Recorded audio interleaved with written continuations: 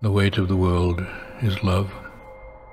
Under the burden of solitude, under the burden of dissatisfaction, the weight, the weight we carry is love.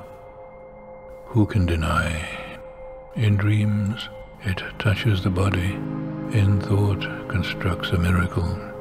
In imagination, anguishes, till born in human looks out of the heart burning with purity, for the burden of life is love. But we carry the weight wearily, and so must rest in the arms of love at last, must rest in the arms of love. No rest without love, no sleep without dreams of love. Be mad or chill, obsessed with angels or machines, the final wish is love.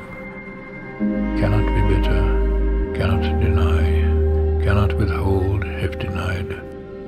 The weight is too heavy, must give for no return as thought is given in solitude, in all the excellence of its excess.